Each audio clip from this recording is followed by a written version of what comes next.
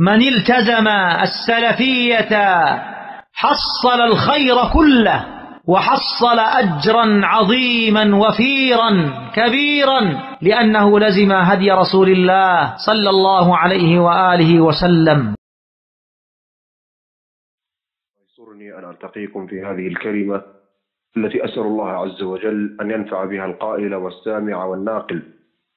والتي أسأل الله عز وجل أن يجعلها نبراسا لنا وسراجا نستضيء بها في حياتنا الدينية والدنيوية التي والتي نسأل الله عز وجل أن يجعلها كلمة سديدة مباركة نافعة تعيننا على ما نتبين به لله سبحانه وتعالى ونسير به على هذا الصراط المستقيم. هذه الكلمة بارك الله فيكم المختصرة. تتعلق بأمر عظيم جدا في حياة المسلم التي ينتفع بها في دينه وفي آخرته. وهذه الكلمة بعنوان اتباع منهج السلف الصالح فضله وأهميته ونحو ذلك. وهذا الأمر بارك الله فيكم. ينبغي الاهتمام به كثيرا لكثرة السالكين الطرق الملتوية في هذا الباب. لأن الله عز وجل عندما بعث رسوله بالهدى ودين الحق ليظهره على الدين كله ولو كره الكافرون. بين الله سبحانه وتعالى الطريق الصحيح الموصل إليه سبحانه وتعالى على لسان رسوله عليه الصلاة والسلام. والنبي الكريم عليه الصلاة أوحى له ربه سبحانه وتعالى به. وهذا الدين كما شاهدوه وعاصروه من نبي يحبه أن الله عز وجل على نبيه الكريم عليه الصلاة والسلام. وكذلك اتفق المسلمون في جميع أن الله عز وجل أوحى لنبيه الحكمة التي هي السنة التي هي المصادر التي يستقي المسلمون منها هي الكتاب والسنة. الكتاب والسنة. فينظرون ما الذي ورد في كتاب الله عز وجل فيمتثلون. فيمتثلون ولا يفرقون بين هذا وذاك. لأن الله النبي الكريم عليه الصلاة والسلام قال ألا إني أوتيت القرآن ومثله معه. ومثله. أنه مثله السنة مثل القرآن فيما يتعلق بالتنزيل أو في الحجة والبيان. إلا أن القرآن يتميز أنه كلام الله عز وجل حقيقة وأن السنة هي قول النبي الكريم عليه الصلاة والسلام بما أوحاه الله سبحانه وتعالى له ولهذا قال جل وعلا وما ينطق عن الهوى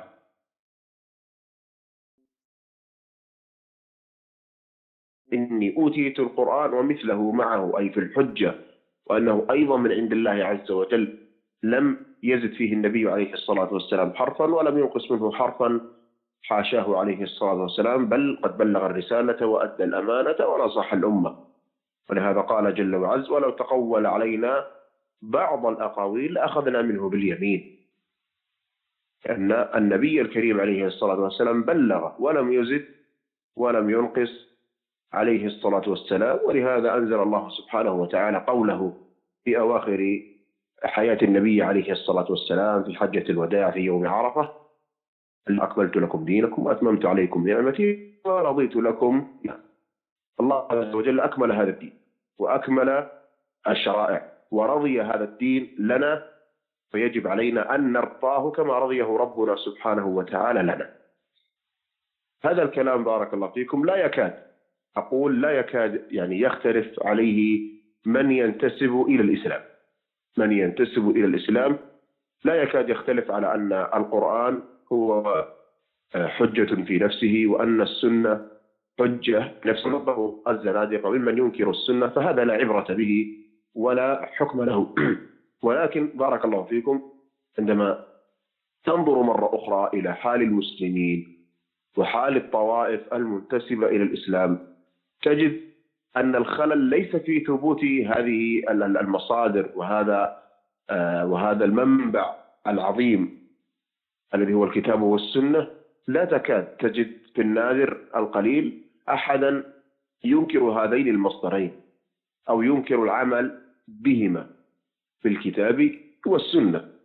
فليقول نحن نتبع الكتاب والسنة بل حتى لو وجدته يعني من الغلاة في في في في في في, في انحرافه عن السنة أو نحو ذلك تجد أنه يقول بلسانه وينطق بشفتيه أنه يتبع القرآن والسنة. ولذا تجده تارة يستدل بآية وتارة يستدل بحديث ونحو ذلك. إذا أين الخلل؟ وأين أين وقع الخلاف؟ وأين وقع التشرذم وأين وقع الانشقاق؟ وأين وقع التفرق والتشيع ونحو ذلك؟ إن الذين فرقوا دينهم وكانوا شيعا لست منهم في شيء. من أين أتى هذا الأمر؟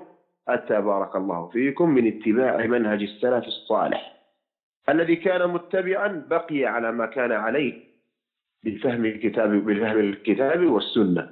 أما الذي لم يتقيد بفهم السلف الصالح والذي لم يتقيد بمنهج السلف الصالح هذا الذي انحرف بعيدا علينا أن نتبع الكتاب أو يفضل أو يرغب في منهج السلف الصالح؟ الجواب لا.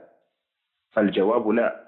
وإنما يجب عليك اتباع منهج السلف الصالح لأن القرآن والسنة قد دلا على الأمر باتباعهما. أو دل على الأمر باتباع منهج السلف الصالح. ومن ذلك قوله جل وعز ومن يشاقق الرسول من بعد ما تبين له الهدى ويتبع غير سبيل المؤمنين نوله ما تولى ونصله جهنم وساءت مصيرا. تأمل يا رعاك الله هذه الآية العظيمة التي تدلك على وجوب اتباع السلف الصالح وهم الصحابة رضي الله عنهم. أن الله عز وجل يقول من يشقق الرسول أي ومن يخالف الرسول من بعد ما تبين له الهدى بين له النبي عليه الصلاة والسلام الحق من الباطل الهدى من الضلال الخير من الشر. فقط يخالف الرسول؟ لا. وي ويتبع غير سبيل المؤمنين. أي ينتهج منهجا غير سبيل المؤمنين. من هم المؤمنون الذين ذكروا في هذه الآية؟ من هم المؤمنون الذين نزلت فيهم هذه الآية؟ هم الصحابة الكرام رضي الله عنهم وهم السلف الصالح. وهم السلف الصالح. الله عز وجل يقول من يخالف الرسول ويتبع غير سبيل الصحابة نوله ما تولى. هذا منهجه هو. هذا دينه هو. هذه بدعته هو. ليس الأمر كذلك فقط أنه يعني يكون يعد مخالفا وشاذا ومنحرفا لا نوله ما تولى ونصله جهنم والعياذ بالله. وهذا من أعظم الأدلة على أن هذا الفعل من كبائر الذنوب لأن الله عز وجل قد توعد عليه بالنار. من المعلوم أيها الأحبة أن الأمور التي ورد فيها لعن أو طرد أو ليس منا أو آه، فيها وعيد بالنار إنها تعد من الكبائر عند أهل السنة والجماعة.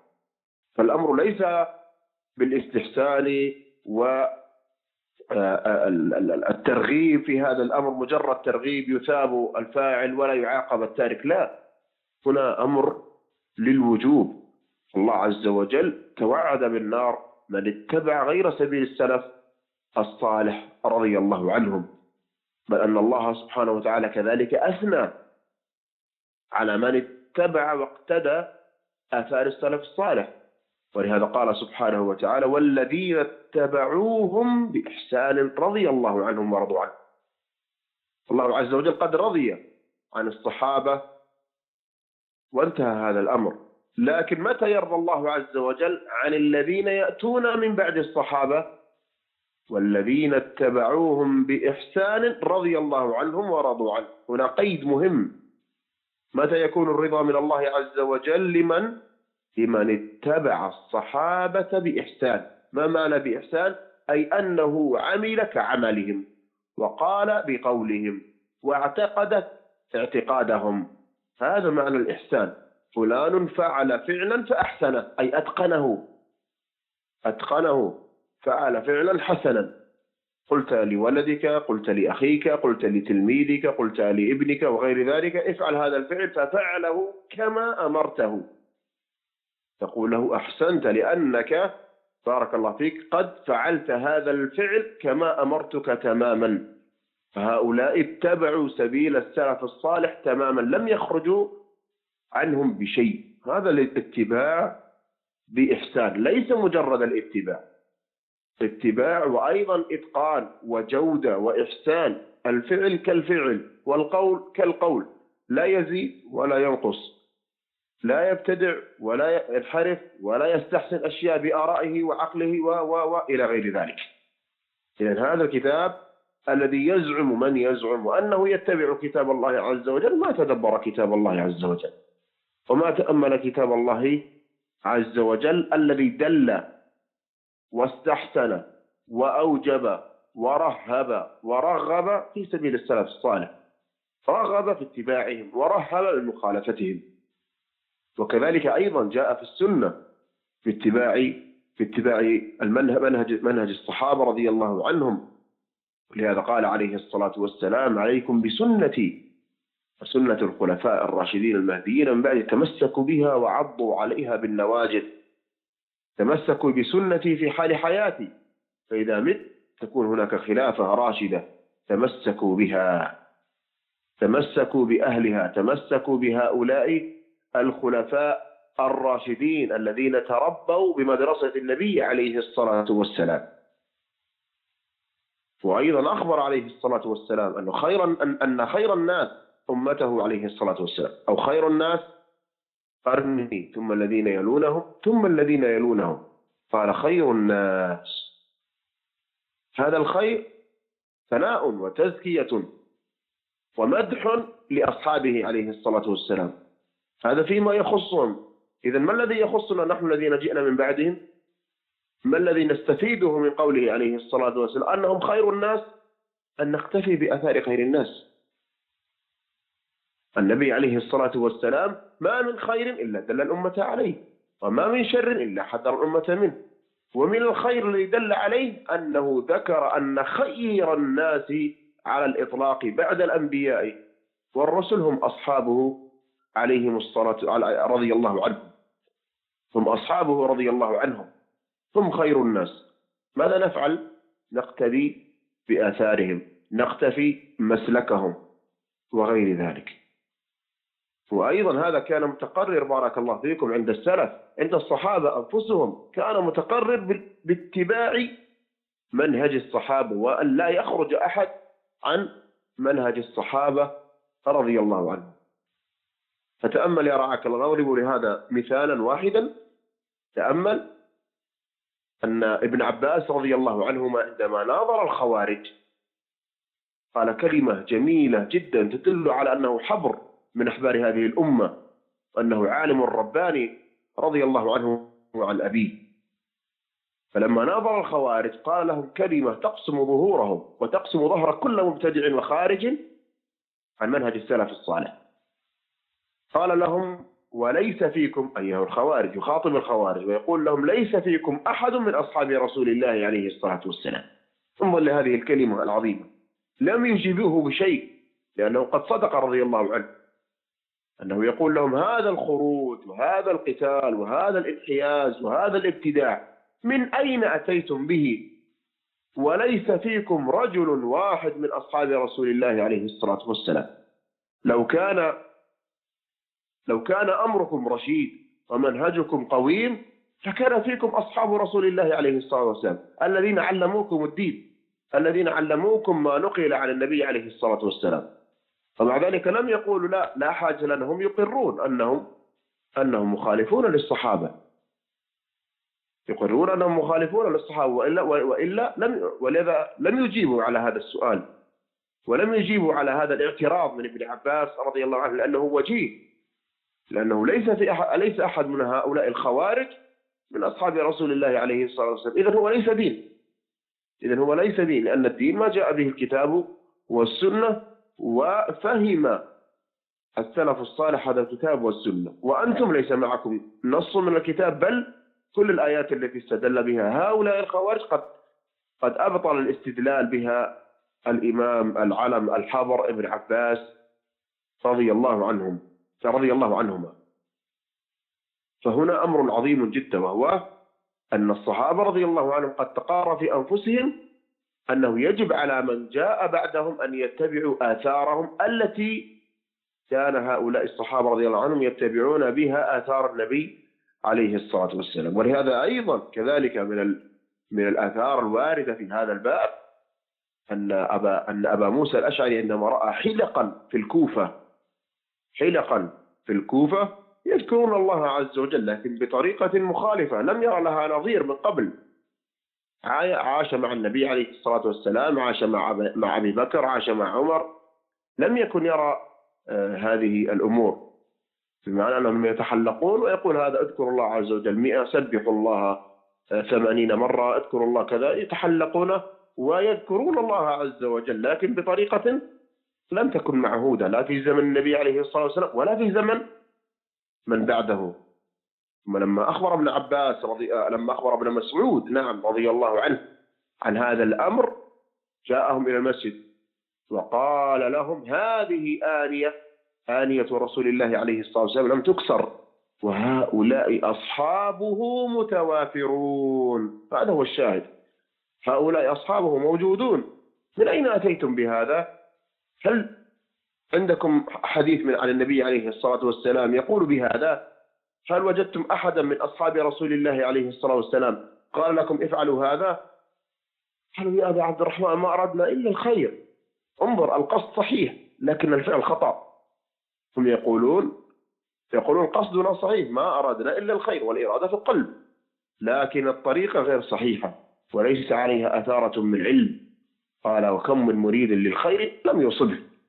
لم يصبه. هذا أمر عظيم جدا أيها الأحبة. ولهذا يتبين لك أهمية معرفة منهج منهج السلف الصالح. أولا يجب الوقوف عليه أولا أن تعرف آثارهم أن تعرف كيف فهموا أن تعرف كيف طبقوا.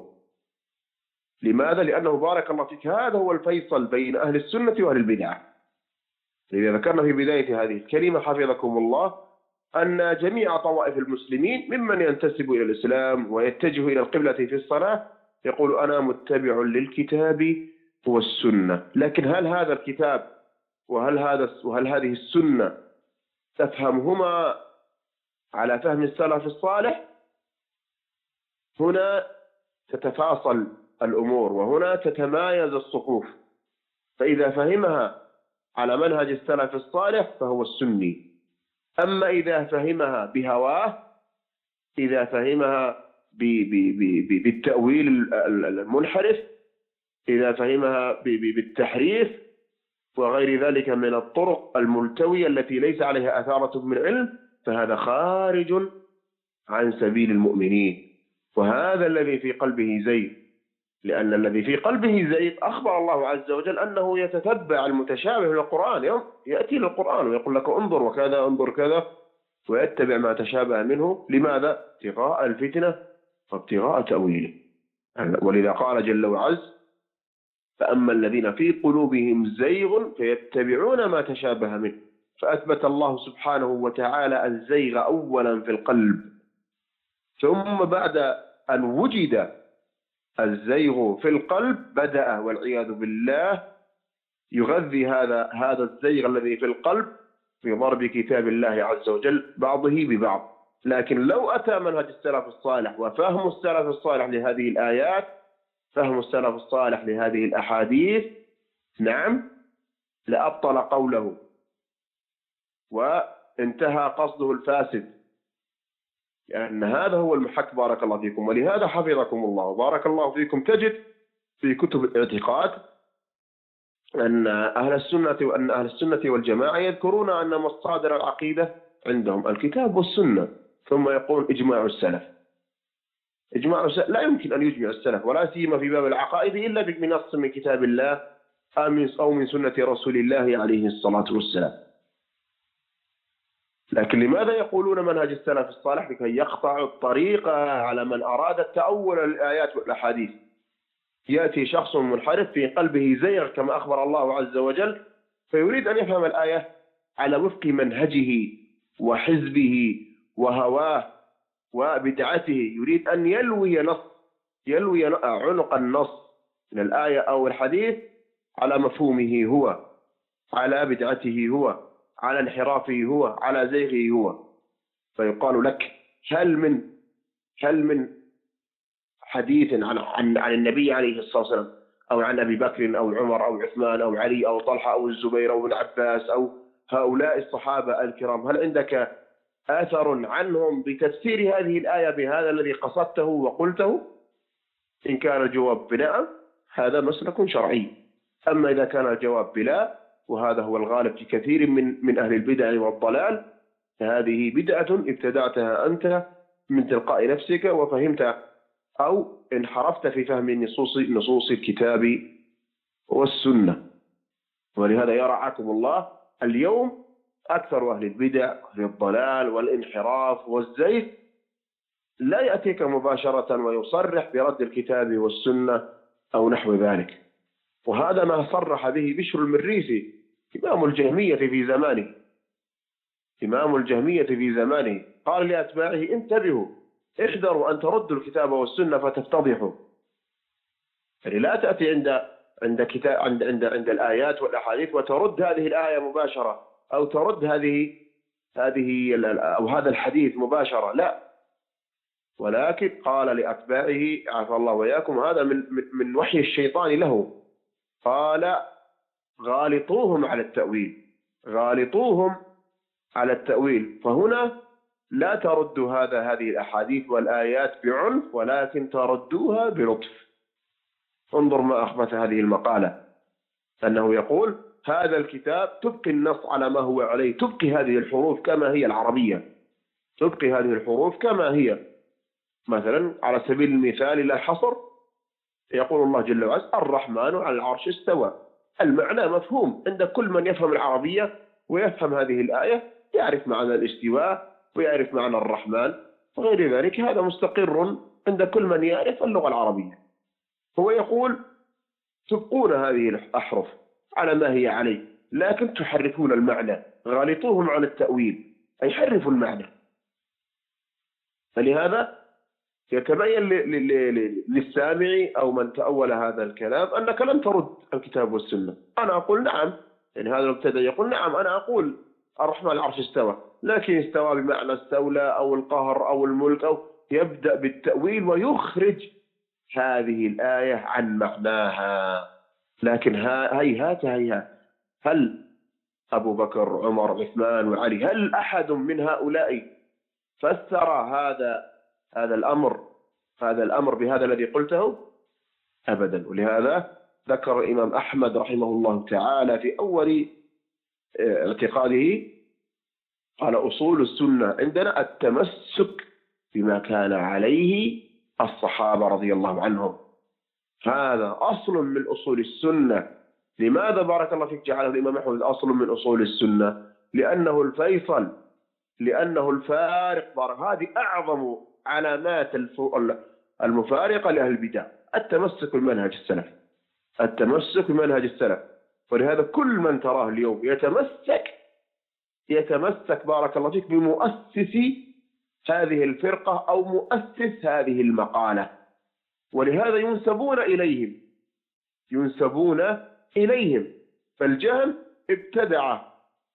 ابتدع مقالة. فنسبت هذه المقالة له ونسب من انتهج منهجه له. يقال الجهمية. نعم. وهؤلاء الذين خرجوا إلى منطقة معينة ونسبوا هذا الفعل إلى غير ذلك يقال الإخوة قطع نسبهم الديني. مؤسس هذه المقالة مؤسس هذه البدع مؤسس هذه وسنة الصحابة رضي الله عنهم. يصل إلى النبي عليه الصلاة والسلام. عن النسب الديني العلم الذي أخذوه عن عليه الصلاة والسلام. فالأمر حفظكم الله في هذا الباب طويل جدا. ولا تكاد النفس تمل من الكلام في هذا الباب.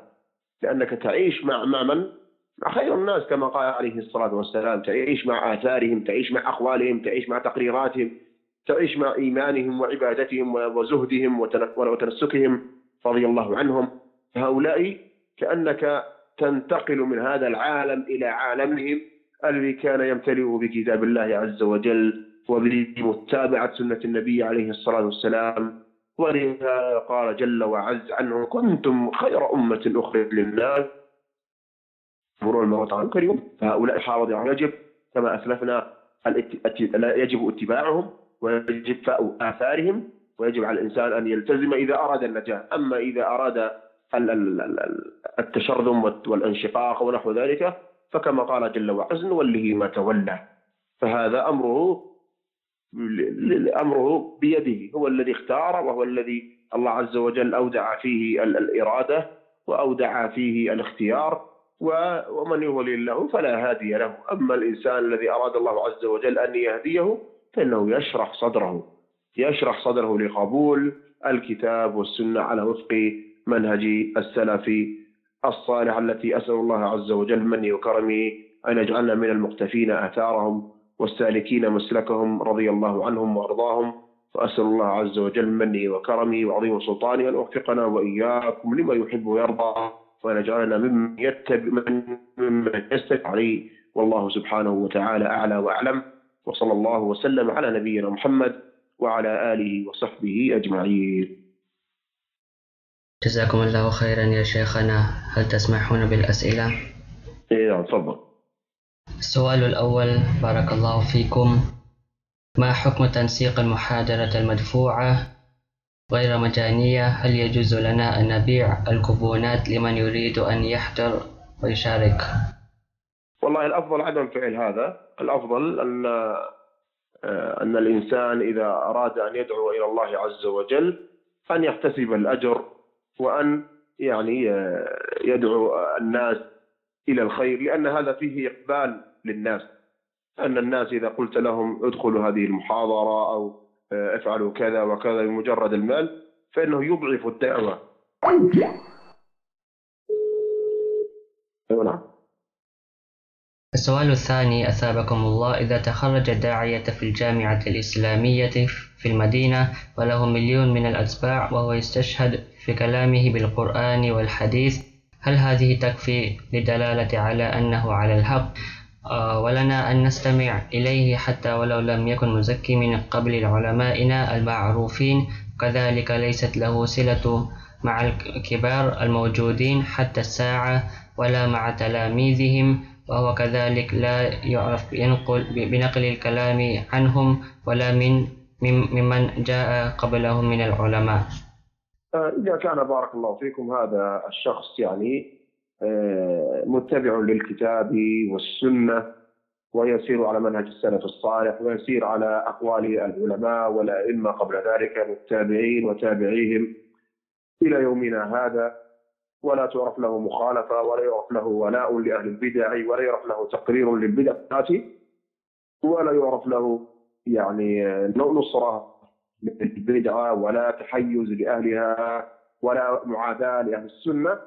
هذا لا بأس بالأخذ عنه حتى وإن لم يكن يعني معروفا عند أهل العلم أنه لا يتسنى لكل إنسان أن أن أن يصل إلى أهل العلم أو أن يلتحق بهم أو أن يكون قريبا منهم أو أن يكون قريبا من طلابهم هذا لا يتسنى لكل أحد.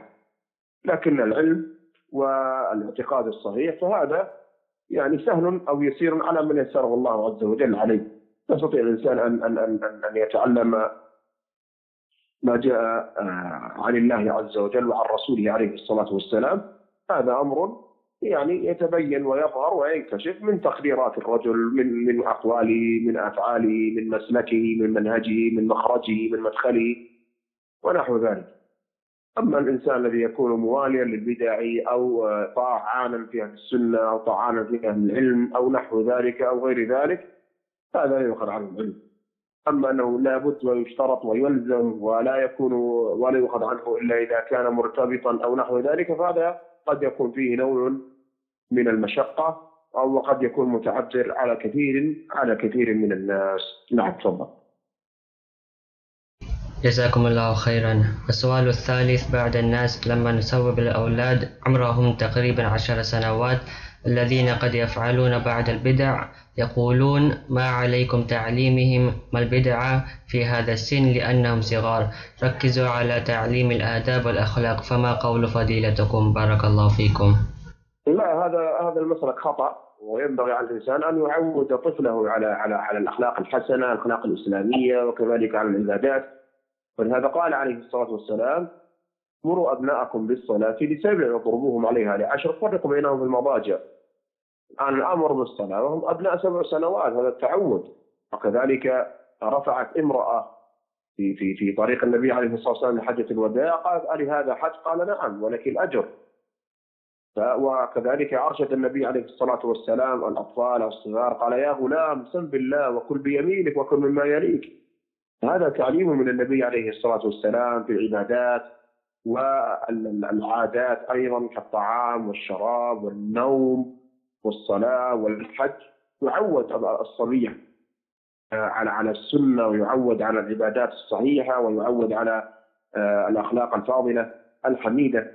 لكن إذا كان هذا الرجل يقول مثلا لا هذا رجل غير مكلف أو هذا الطفل غير مكلف نقول له لو سرق هذا الطفل عشر الذي يعني عمره عشر سنوات سرق منك مالا كثيرا فلا تطالب الحكومة بإرجاعها لأنه طفل صغير ليس عليه تكليف. لا يقول بهذا لأنه إذا تعلق الأمر بماله بدأ الآن يتصل بالشرطة ويتصل بالحكومة ويفعل ويترك ويذهب. لكن إذا كان الأمر يتعلق بدين الله عز وجل فيقول ليس عليه فعل لكن لو أخذ ماله أو كسر سيارته أو أتلفها أو نحو ذلك لصاح وصارخ في العالم أنه يريد استرجاع حقه وإصلاح ما أفسده هذا الصبي. نعم. بارك الله فيكم. السؤال الرابع من هم الجماعة التبليغ وماذا قال العلماء عنهم؟ جماعة التبليغ بارك الله فيك جماعة هندية خرجت في الهند في القرن الرابع عشر أو في في في أواخر في المعاصرون يعني هذه فرقة حديثة أيضا. لم يعني يحصل لها أكثر من 100 سنة تقريبا وخرجت على يد المؤسس لهذه الجماعة محمد بن الياس الكندهلوي. وهذا رجل عرف بالتصوف والعكوف على القبور كان يبايع على الطرق الصوفية وابتدع هذه البدعة وهي الخروج للدعوة من المنامات وأيضا لم يخرج من كتاب الله عز وجل ولا من سنة الرسول صلى الله عليه وسلم ولا من السلف الصالح. فيزعم أنه ذهب إلى قبر النبي عليه الصلاة والسلام ثم قال له النبي عليه الصلاة والسلام إننا نستعملك إننا نستعملك. ولم يذكر محمد إنعام الناقل عنه. محمد إنعام أيضا آه، كان دهلوي لم ينقل عنه هل هو يقظة أو مناما. لكن هو على الظاهر أنه في اليقظة. النبي صلى الله عليه وسلم قال له في اليقظة كما يزعم أنه قال إننا استعملناك ثم لما رجع إلى الهند وجد في المنام أو رأى في المنام سمع رجل يقول كنتم خير أمة أخرجت للناس فتأولها بتأول غير صحيح كما كما ذكرنا قبل قليل في المحاضرة أنه تأولها على غير فهم السلف الصالح ثم ابتدع هذا الخروج ثلاثة أيام وأربعين يوما وشهرا أو نحو ذلك من هذه البدع التي أحدثها في الخروج وهذا الخروج يكون عن جهل ويكون عن عن عن عن عن, عن بدع أيضا وضلالات وشركيات وغير ذلك. هذه الفرقة قد بسط الكلام فيها في كثير من المواضع من كلام العلم والذي تقرر عليه أهل العلم أن هذه الفرقة خارجة عن السنة وأنها كما قال الإمام ابن العز بن باز رحمه الله تعالى أنها من الستين والسبعين فرقة الهالكة. فقد ذكر في آخر حياته رحمه الله تعالى ورضي عنه أن جماعة التبليغ وجماعة الإخوان من الستين والسبعين فرقة وكذلك أقره الشيخ أو ذكر كما ذكر الشيخ ابن باز أيضا ذكر الشيخ العلامة العثيمين رحمه الله تعالى أن هذه من الفرق الثنتين والسبعين فرقة الهالكة. نسأل الله العافية والسلام. نعم. السؤال الخامس بارك الله فيكم. هل القاعدة نأخذ الحق ونترك الباطل من كل شخص صحيح أم لا؟ هذا كلام باطل بارك الله فيك. نأخذ الحق ونترك الباطل. هذا كلام على إطلاقه باطل أصلا. تأخذ الحق لا تأخذ الحق إلا من أهل الحق. أما أهل الباطل ولا تأخذ منهم شيئا. هل يوجد في دينك نقص؟ هل يوجد؟ الله عز وجل قال اليوم أكملت لكم دينكم. وهل تريد أن تبحث عن عن الحق عند غير أهله؟ هذا باطل. هذا باطل بارك الله فيك. لكن إذا عرض عليك من غير طلب. إذا عرض عليك وأنت في بيتك وأنت في سيارتك عرض عليك الحق فلا ترد الحق. إذا عرض عليك الحق فلا ترده. أما من ناحية الطلب فلا تطلب الحق إلا عند أهل الحق. ودليل ذلك بارك الله فيكم أن أن أبا هريرة رضي الله عنه عندما استعمله قال إني صاحب هيئة إنسان. طبعا فقال إني صاحب عيال وإني كذا وكذا. وكان يسرق من الصدقة. قال أخبرنا عنك النبي عليه الصلاة والسلام فقال لا تفعل لن أفعل ولن أعود وأنا أتوب وأنا كذا وكذا. إلى غير ذلك من الحديث. لكن في آخر في المرات التي قبضه أبو هريرة رضي الله عنه. قال إني أعلمك يعني كلمات لا يزال عليك من الله حافظ ولا يقربك شيطان حتى تصبح. إذا قرأت آية الكرسي أخبر بها النبي عليه الصلاة والسلام فقال صدقك وهو كذوب. صدقك وهو كذوب. فالنبي عليه الصلاة والسلام هنا أقر هذا الأمر أقر هذا الأمر.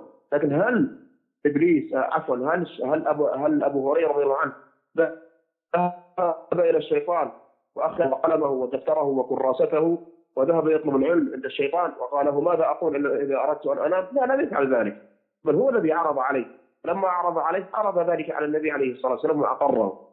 وهنا نقول إذا عرض عليك الحق من غير أن تطلبه فلا ترد الحق لأن لأن أن القائل ضال أو منحرف أو نحو ذلك. ولهذا أيضا جاء في بعض منامات الصحابة رضي الله عنهم في زمن النبي عليه الصلاة والسلام أن أحد الصحابة لا أذكر اسمه الآن أنه مر على اليهود وقال أنتم القوم لولا أنكم تقولون عزير من الله. ومر على النصارى وقال أنتم القوم لولا أنكم تقولون عيسى ابن الله. فقال له اليهود والنصارى أنتم القوم أيضا أيها المسلمون لكن ولولا أنكم تقولون الله والكعبة والله ومحمد فأمر النبي عليه الصلاة والسلام أن لا يقولوا ذلك بعد هذا. هذا الأمر جاء من من اليهود والنصارى وإن كان منام أقره النبي عليه الصلاة والسلام. لكننا قبلنا الحق قبلنا الحق وإن كان جاء من عدونا إن كان جاء من كافر أو مبتدع أو ضال. لكن النبي عليه الصلاة والسلام لم يأمر الصحابة أن يذهبوا إلى اليهود والنصارى ليتعلموا. ولهذا عندما جاء عمر رضي الله عنه بالصحيفة وفيها شيء موافق لكتاب الله عز وجل. فقال متهوكون فيها ابن الخطاب. والله لو كان موسى حيا ما وسعه إلا اتباعي الطلب بارك الله فيكم لا لا يطلب ولا يؤخذ الحق إلا من أهل الحق.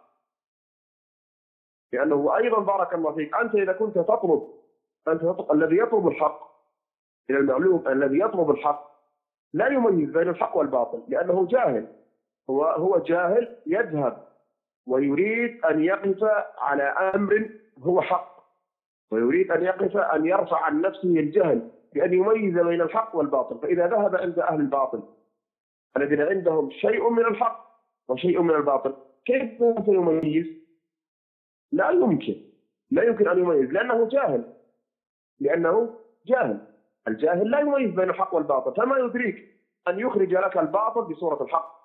ويخرج لك الحق بصورة الباطل. وهذا هي طريقة أهل البدع.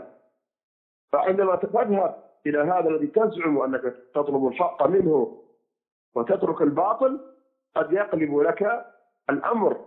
فيجعل الباطل الذي معه حقا والحق الذي معه باطلا. فتضل والعياذ بالله. فتريد أن تطلب الحق فلا ترجع بالضلالة والباطل. عافى الله وإياكم. وهذا بارك الله فيك. هذا الذي ذكره السائل. هو من أعظم المسالك التي انحرف فيها الناس انحرف فيها الشباب اليوم أنهم يقولون بهذه القاعدة ويا ليتهم يطبقونها يذهبون إلى أهل الباطل ويقولون نريد الحق الذي معكم ونريد الباطل الذي معكم. تقول تعالوا هلموا اجلسوا. فيأتونهم بالشبهات ولحن القول وإن من البيان لسحر ثم ينفثون في روعهم هذه هذا الباطل فيخرجون من عندهم وقد محي الباطل تماما في قلوبهم وزرع وزرع محي الحق من قلوبهم وزرع الباطل في قلوبهم ثم يبدأ ويسأل. وقعت في قلبه الشبهات ووقعت في قلبه الأهواء والباطلات ثم يذهب يبحث عن علاج. فربما يشفى وربما لا يشفى والله المستعان. والله سبحانه وتعالى أجل وأعلى وأحكم. صلى الله وسلم على نبينا محمد وعلى آله وصحبه أجمعين. بارك الله فيكم. جزاكم الله خيرا. عندنا سؤال آخر بارك الله فيكم. هناك شخص يصلي ويصوم ويعبد الله ولكن عقيدته مختلفة. هل هذا يدخل تحت الكفر؟ بارك الله فيكم. لا لا يدخل تحت الكفر إلا إذا كان يعتقد اعتقادا كفريا. إذا كان هو الآن هو عقيدته مخالفة لكن لا ندري ما هذه العقيدة. هذا أول. لابد أن تكون العقيدة آه، مناقضة لما جاء به النبي عليه الصلاة والسلام. ثم ثانيا أن أن ينظر أيضا في آه، انتفاء الموانع وتوفر الشروط. قد تكون عنده شبهة تمنع من إنزال الكفر عليه. فإنه قد يعتقد آه، الكفر لكن لوجود شبهة أو لوجود تأويل أو لوجود إكراه أو لوجود نسيان أو غير ذلك منه مما هو معلوم. لكن ليس كل من اعتقد هذا أن ينزل عليه الأحكام وأن يقال كذا أنه أنه يعني خرج عن دين الإسلام وأن اعتقاده آه، أنه كفر بعينه بهذا الاعتقاد أو نحو ذلك. نعم إذا كان يعتقد هذا الاعتقاد آه، يعتقد مثلا بنبوة غير النبي عليه الصلاة والسلام وبين له من الله عز وجل يقول ومن يشق الرسول من بعد ما تبين له لابد أن يتبين له ويظهر له ويعرف ويفهم الحجة.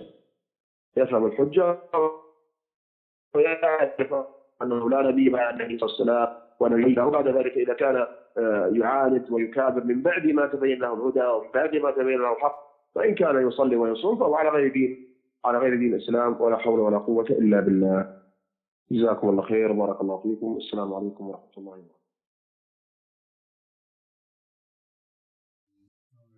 Some of the benefits that we derive, we can derive from the lecture we had earlier that was broadcasted uh, by Sheikh Bandar al-Khaybari, Hafizahullah, one of the recommended scholars in uh, Medina and Nabawiyah, recommended by uh, some of the kibar al-ulama, some of the senior scholars with the topic or the theme, the methodology, or the way of the righteous predecessors.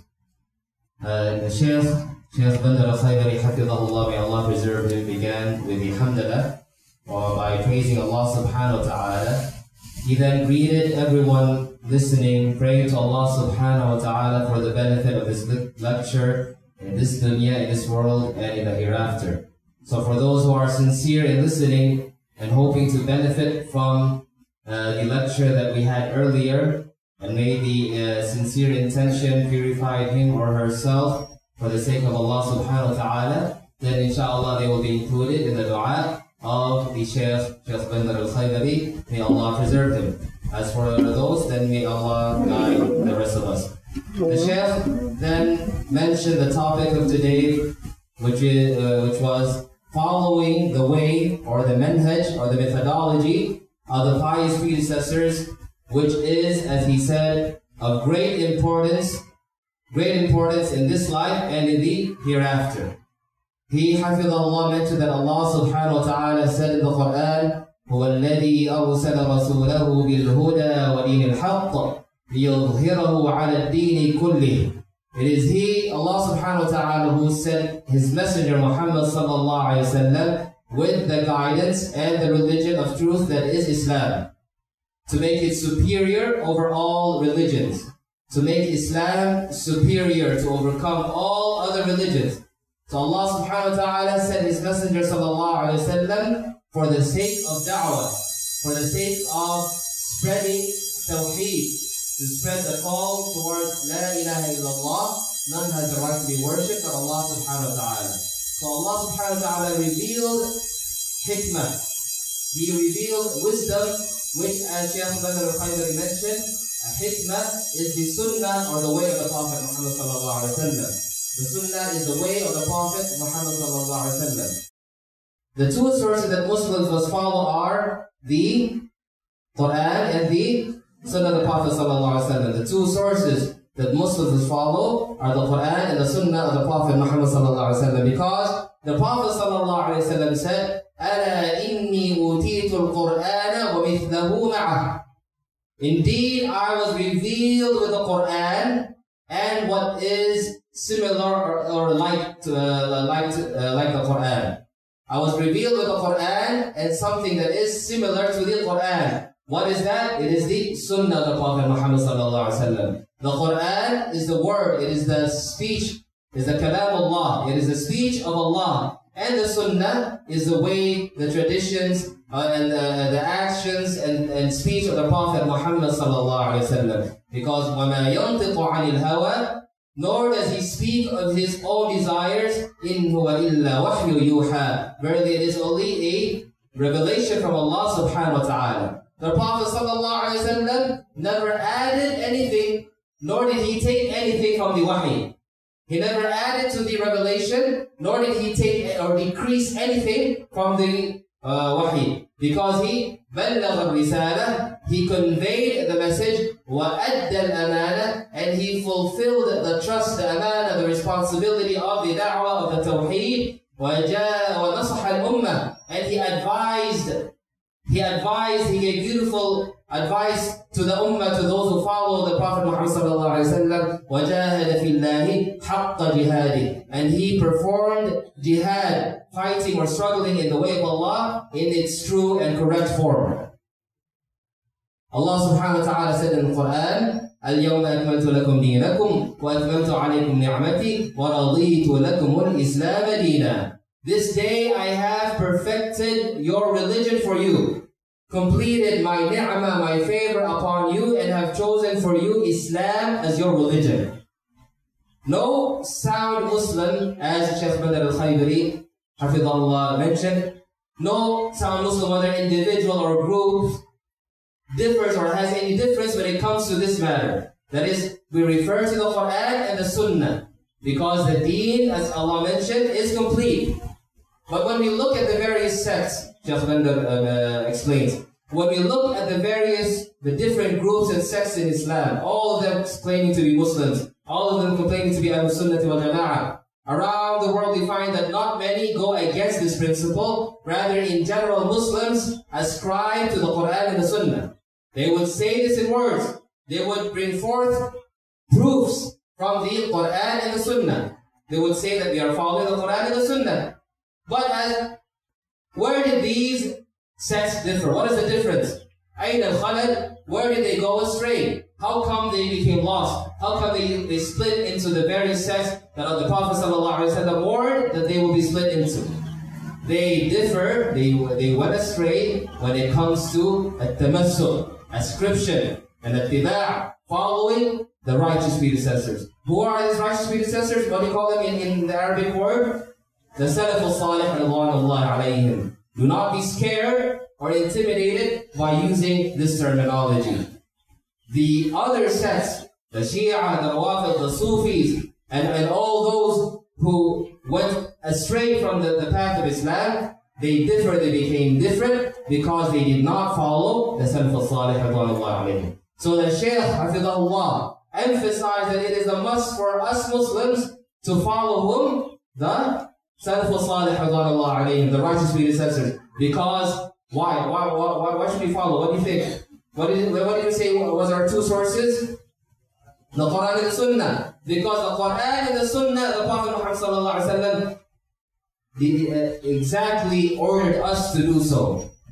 Allah subhanahu wa ta'ala said in the Quran, وَمَن يُشَاقِقِ الرَّسُولَ مِن بَعْدِ مَا تَبَيَّنَ لَهُ الْهُدَى ويتبع غير سبيل المؤمنين نوله ما تولى ونصليه جهنم وساءت مصيرا And whoever contradicts and opposes the Messenger Muhammad sallallahu alaihi wasallam after the right path has been clearly shown to him, and he follows other than the believer's way. He follows other than the believer's way. We shall keep him in the path that he has chosen and burn him in hell. Subhanallah. What an evil destination, subhanAllah. Very clear. Wadah, is it clear? What is clear? This shows that it is obligatory, it is a must, that we should follow the righteous predecessor, the Salaf al-Salih, the righteous predecessor, because those who go against the, the Messenger of Allah, they follow a different way than the way of the believers, than the way of the believers. And who are these believers that are, that are mentioned in this Quran and in the ayah of the Quran? Who are the believers here? Al-Mu'minun. They are the, not, and, uh, but specifically, who are these Well, when Allah subhanahu wa ta'ala says, and follows other than the believers' way, who are those believers? Who do you think are the prime examples of the believers? The Sahaba, mashallah, okay? The Sahaba, the companions of the Prophet Muhammad sallallahu alaihi wasallam, because they are our salaf. They are our righteous predecessors. You understand, inshallah? Okay. So those who go against the way of the Sahaba have been warned with punishment in the hellfire. And this is a promise.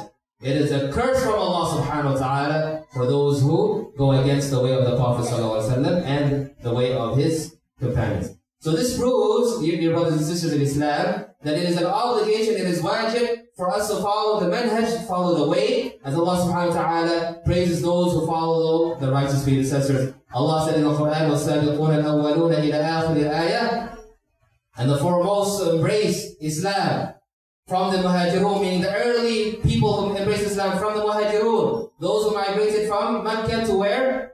To Medina. And the Ansar, they are the citizens of whom? Of where? Ansar are the, the citizens of Medina and those who follow them exactly in faith. Okay? So the companions, the Muhajirun and Ansar, and those who follow their way, Allah is uh, radiallahu anhum wa anhum. Allah is pleased with them, Allah is happy with them. Are those He is happy with? Are those? He just mentioned them. The Muhajirun and Ansar and those who follow them. The, the Salaf Salih, those who follow their way. Don't get lost, your brothers and sisters in Islam. Allah is well pleased with them as they are also well pleased with Him subhanahu wa ta'ala. He has prepared for them gardens under which rivers flow to dwell therein forever. Who wants to stay in Jannah forever? Who wants to stay in Jannah forever? All of us, inshallah. So what should we do? We should follow their way. That is the supreme success. So the rida, the, the pleasure of Allah subhanahu wa ta'ala will be upon the acts of, uh, uh, will be upon the acts of the Sahaba, will be upon those who said their statement and believe in their beliefs. Those who acted upon the ways of uh, the Sahaba, those who said their statements, and those who believe in their beliefs. The Shaykh, what is the name of the Shaykh mentioned earlier? What's the name of the Shaykh? Shaykh Badr al-Khayr mentioned that upon us Muslims, we must follow their way with itqan, with perfection, with excellence in our actions. No more, no less. No more, no less. Innovation in religion, bid'ah in religion, is it accepted? It is not accepted. Because Allah subhanahu wa ta'ala and His Messenger sallallahu alayhi wa sallam commanded us with following the righteous predecessor, predecessor. The Prophet sallallahu alayhi wa sallam said, فَعَلَيْكُمْ بِسُنَّتِي Upon you is to follow my sunnah. The sunnah of whom? The Prophet sallallahu alayhi wa sallam. وسنة الخلفاء الراشدين المهديين and the sunnah the rightly guided caliphs. So follow the sunnah and those and, and, and those who were upon the sunnah of the Prophet sallallahu The Prophet sallallahu said, خير الناس, the best of mankind, the best of human beings, the best of people are whom? Qarni, my generation. Who was who lived during the Prophet's uh, during the Prophet's time? The Sahaba, barakallahu fikum. ثم الذين يلونهم, and those who followed the Sahaba, who are they? What do we call them? تابعون بارك فيكم ثم الذين يلونهم تابع التابعون the, one, the ones who followed the followers of the Sahaba. Such was the praise of the for the Sahaba. We should follow the best of mankind. The Prophet ﷺ, he did not mention the worst of things he did not mention the worst of things or people except that he would warn against these things. He would say, for example, the worst of people the worst of uh, actions, except that he would also warn against these things. Just as he would not mention the best of things except that we should do what? He would not mention the best of things or people or actions except that we should follow them. Some of you are following the way. So we should not leave the manhaj or the way of the, uh, the Sahaba. So the Shaykh then gave an excellent example, and that example is when Ibn Abbas, radiallahu anhu, may Allah be pleased with him and his father, when he debated with the Khawarij. Who are the Khawarij? They are the extremists, those who rebelled, who went out of the Ahlul Sunnah wal Jama'ah, went out of the main group or the Jama'ah. So when Ibn Abbas radiallahu anhu debated the Khawarij, he told the Khawarij, you do not have a single Sahaba with you. You do not have a single Sahaba with you. So where did this khuruj, this rebellion come from? The Sahaba were the ones who introduced, they taught Islam to these people, but they do not have a single Sahabi with them, subhanAllah. So are those Khawarij correct? No, because not a single Sahabi was with them. So we cannot be with them. Therefore, what they were upon, what the Khawarij were doing, is not part of the deen, was not, is not part of the uh, Islam. The Khawarij, they would bring proofs from the Quran, but it is not as understood by the Sahaba. Therefore, we must follow the athar, the narrations from the Salaf, Ridwanullah alayhim. Another example, and it is a, a long one, but an excellent one, mashallah, that the Shaykh Hafidahullah gave was when Abu Musa al-Ash'ari, he went to Abdullah ibn Mas'ud, anhu. Both of them were companions. Both of them witnessed the Islam of our dear Prophet Muhammad sallallahu alaihi wasallam. Who are they? Abu Musa al-Ash'ari and Abdullah ibn Mas'ud. Don't get lost again. Who are those two that we're mentioning right now? Right now you have to be with me. Abu Musa al-Ash'ari and Abu Abdullah ibn Mas'ud. So Abu Musa, he went to Abdullah ibn Mas'ud uh, pleased with all the companions, and he said, I saw a group of people. I saw what? A group of people sitting in circles waiting for the salah. Just similar to this time, we are waiting for the salah. They are sitting in circles waiting for the salah. In every circle there was a man in, in, in, in their hands were small pebbles or stones. And he would say, say Allah Akbar a hundred times.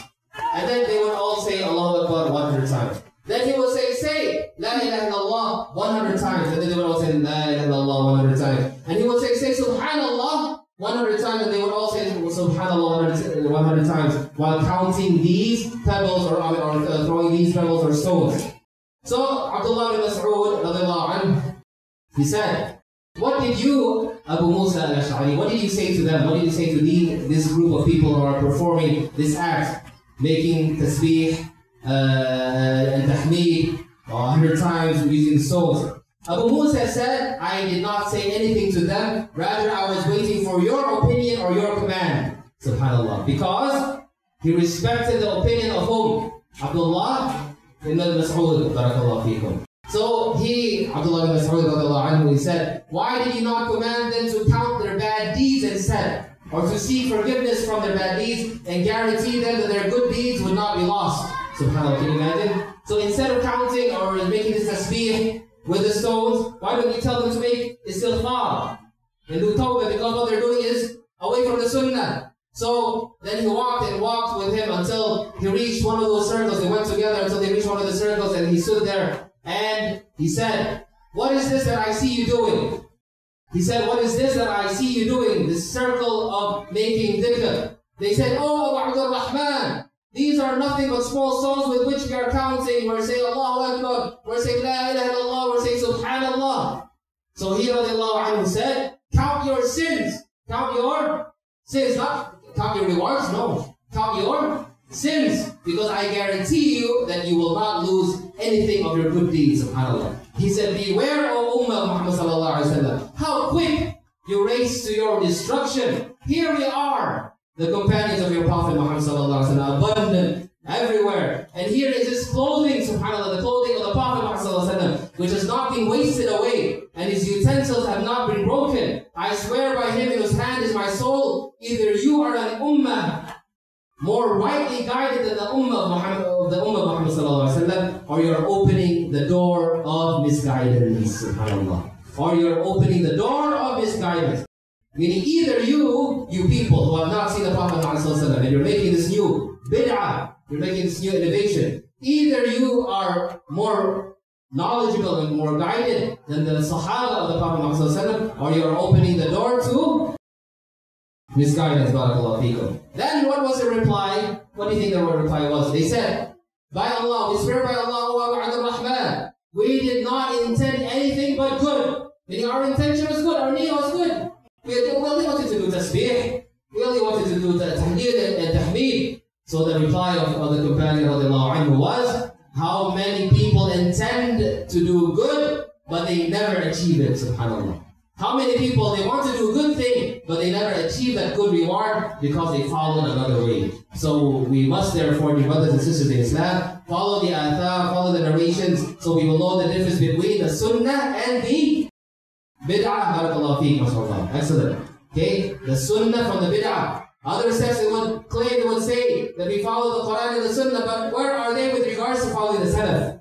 Where are they with regards to following the righteous predecessors? So one who follows the Quran and the Sunnah, he is a Sunni. He is a person of the Sunnah. But one who follows their desires, as Shaykh Bandar al-Khaybari said, Allah subhanahu wa ta'ala says about these people, فَأَمَّا الَّذِينَ فِي قُلُوبِهِمْ زَيْغٌ فَيَتَّبِعُونَ مَا تَشَابَهَ مِنْهُ ابتغاء الفتنة وابتغاء تأويله وما يعلم تأويله إلا الله.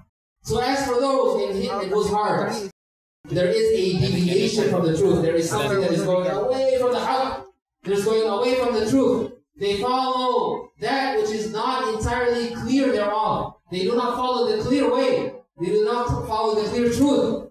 Rather seeking al-fitnah, seeking polytheism and trials, and seeking for its hidden meanings, but not knows, knows its hidden, hidden meanings except Allah subhanahu wa ta'ala. But if they took the understanding of the Salaf with regards to the Quran and the Sunnah of the Prophet, they would certainly have been saved.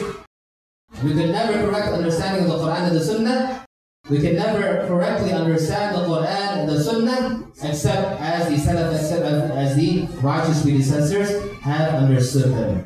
Those who are against this principle, they interpret the Quran and the Sunnah according to their own manhaj, according to their own way. So you ask them, dear brothers and sisters in Islam, as as Shaykh Bandar al-Khaybari mentioned, you ask them, do you have any statement from the Sahaba that supports your own interpretation, your own ta'wil?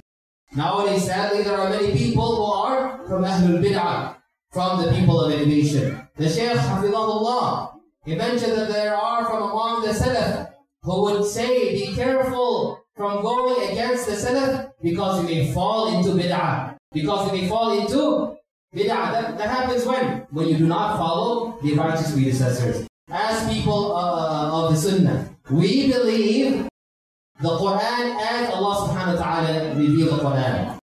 Well, just as when Allah subhanahu wa ta'ala said in the Quran, Ar-Rahmanu ala al-arshi istawa, barakallahu feekum. Ar-Rahmanu ala al-arshi istawa. The most gracious Allah subhanahu wa ta'ala rose over, istawa, ala al-arsh, rose over the mighty throne in a manner that, be, that suits His Majesty. In a manner that suits His Majesty. The Arabic language is very clear, but Ahlul Bid'ah, they interpret it through ta'weel. They interpret, they give their own interpretations. They say that Allah subhanahu wa ta'ala has no hands. Allah subhanahu wa ta'ala has no eyes. Allah, Allah, uh, when it mentions Allah's eyes or Allah's hands, it means something else. Is this a correct belief? No. Is Allah everywhere? No. Where's Allah subhanahu wa ta'ala? Allah is above his throne. May Allah reward all of you. Are other misguided ideas. But the big question is, did Abu Bakr, did Umar ibn al-Khattab, did Uthman ibn uh, Affan did Ali ibn Abi Talib did any one of them support those misguided ideas? The answer is no. If it is no, so should we follow those ideas? The answer is clearly no. We're coming close to the end. Barakallahu feekum. From the usul of the sunnah, from the principles and the fundamentals of the sunnah, as Imam Ahmad rahimahullah ta'ala mentions is at-tamassuk, holding on firmly, adhering to the, what the Sahaba were upon. This is what differentiates us from the people of bid'ah. What is it? What is the difference between us and the people of bid'ah? If, repeat after me, at-tamassuk. What is at-tamassuk? It is to hold on firmly, adhere, to stick to what the Sahaba and those who follow their way were upon. You understand? Simple as that. That is, that is a clear Islam. It is not an Islam that is based upon dreams. I dreamt that one day that the Prophet told me this, so you people follow me. Because I'm the new, Prophet, so on and so forth. This is not part of Islam. So the Shaykh continued towards the end of his lecture. The ignorant elevate statements and fall into bid'ah this is the bid'ah of the Jahmiyyah and others, which the Shaykh Abdul al-Khaybari Allah mentioned is another long discussion. So we must apply the world of the Sahaba into our world. We must apply the world of the Sahaba into the world that we live in today as much as possible. Okay? The Islam that was the Islam in the, time of the Sahaba the Prophet we apply that version of Islam to our world today. No more, no less. Clear?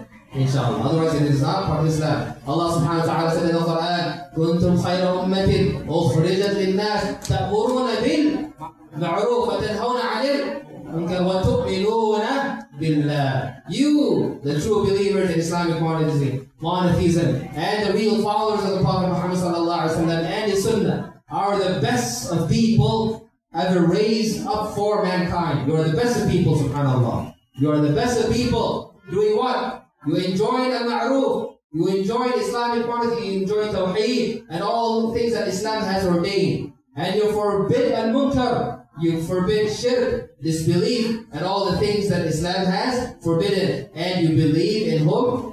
Allah subhanahu wa ta'ala. But for those who oppose the manhaj and oppose the way, Allah subhanahu wa ta'ala said, نُوَلِّهِ مَا تَوَلَّ وَنُصْلِهِ جَهَنَّمَ وَسَاءَتْ مَصِيرًا We shall keep him in the path that he has chosen and burn him in hell. What an evil destination. Towards the end of his lecture, Shaykh Bandar al-Khaybari Allah mentioned the statement of Allah subhanahu wa ta'ala, فَمَن يُرِدِ اللَّهُ أَن يَهْدِيَهُ يَشْرَحْ صَدْرَهُ لِلْإِسْلَامِ And whomsoever Allah wills to guide, He opens his breast to Islam, subhanAllah. So with this, the Shaykh concluded with some dua and I ask Allah subhanahu wa ta'ala that we benefit from the beautiful lecture of Shaykh bin al-Khaybari, Hafidahullah. Did you notice, dear students and teachers and faculty members, anything strange from the lecture of, the, of Shaykh bin al-Khaybari? Is there anything strange? No, because it is all Quran and Sunnah and what the uh, and what the Salaf al-Salih what the righteous predecessors or the companions were upon. أقول قولي هذا وأستغفر الله ولكم. السلام عليكم ورحمة الله.